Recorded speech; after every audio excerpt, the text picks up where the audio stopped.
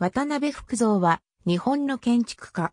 国会議事堂の建築設計協議で応募案が一等に当選したことで知られている。議事堂建築案横浜出身。父は旧幕臣の渡辺増で、兄は建築家の渡辺譲る。1889年に日本土木会社へ入社。1891年5月から1893年8月まで仮議員の設計に従事。同8月に宮内省匠寮の雇い。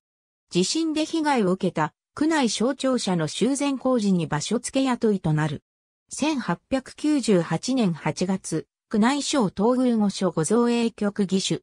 1907年1月、宮内省匠寮義手に任ぜられる。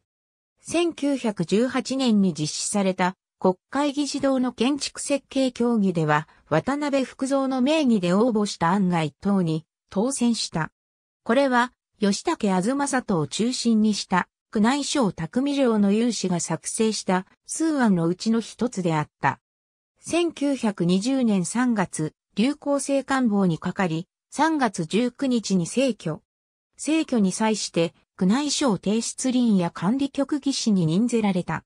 業与で田中銀行本店や住宅、工場などを手掛けている。